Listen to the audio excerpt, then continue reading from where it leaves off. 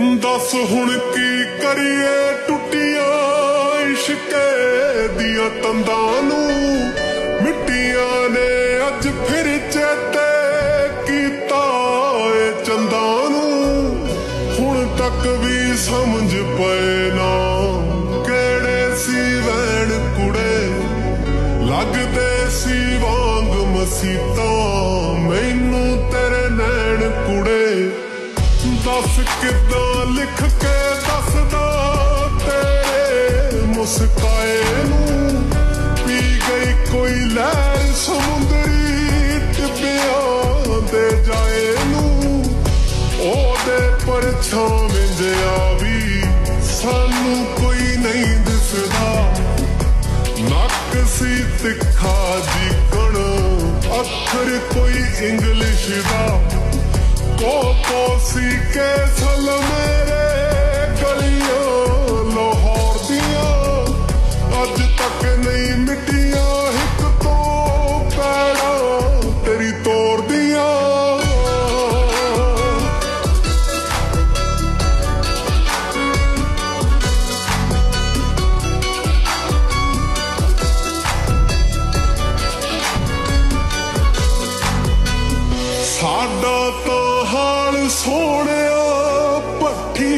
ਵਿੱਚ ਖਿਲ ਵਰਗਾ, ਜਾਂ ਫਿਰ ਕੋਈ ਸ਼ਾਮ ਟਲੀ ਤੋਂ ਆਸ਼ਕ ਦੇ ਦਿਲ ਵਰਗਾ, ਜਾਂ ਫਿਰ ਕੋਈ ਸ਼ਾਮ ਟਲੀ ਤੋਂ ਆਸ਼ਕ ਦੇ ਦਿਲ ਵਰਗਾ। ਐਵੇਂ ਨੀ ਝਾੜ ਕੇ ਪੱਲੇ, ਚਾਰੇ ਹੀ ਤੁਰ ਜੀਦਾ। ਦੱਸ ਕਾਦਾ ਮਾਣ ਸੋਹਣਿਆ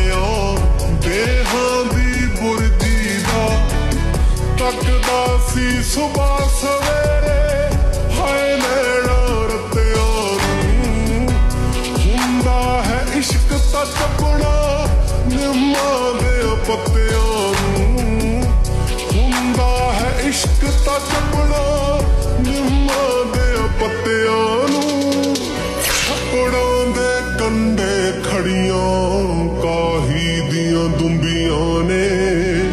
ਸਾਨੂੰ ਤਾਂ ਤੋਂ ਵੱਧ ਕੇ ਸੱਜਣਾ ਦੀਆਂ ਮੁੰਦੀਆਂ ਨੇ। ਲੜਕੀ ਉਹ ਝੁਮਕਿਆਂ ਵਾਲੀ ਅੱਜ ਵੀ ਸਾਨੂੰ ਪਿਆਰੀ ਆ। ਭਾਵੇਂ ਉਹ ਭੁੱਲ ਗਈ ਕਰਕੇ ਵਾਦੇ ਸਰਕਾਰੀ ਆ। ਹੁੰਦਾ ਹੈ ਇਸ਼ਕ ਸੋਹਣਿਆ, ਰੱਬ ਦਾ ਹੀ ਹਾਣੀ ਵੇ। ਬਸ ਚਿਹਰੇ ਬਦਲੀ ਤੁਰਦੀ ਜਾਣੀ ਵੇ। ਗੱਲ ਤੁਰਦੀ ਜਾਣੀ ਵੇ।